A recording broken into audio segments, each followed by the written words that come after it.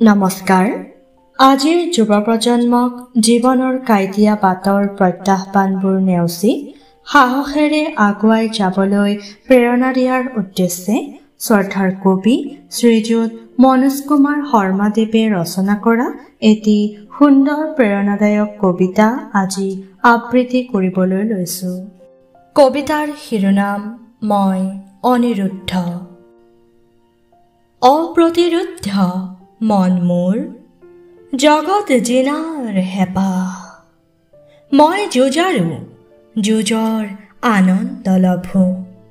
পথৰ হেঙাৰ মোহাৰি আচাৰি আগবাঢ়ো। বিচলিত নহওঁ অমানিশাৰ কলি আদাৰ দেখি। মই মোক চিনো নিজকে সাহস যোগাওঁ।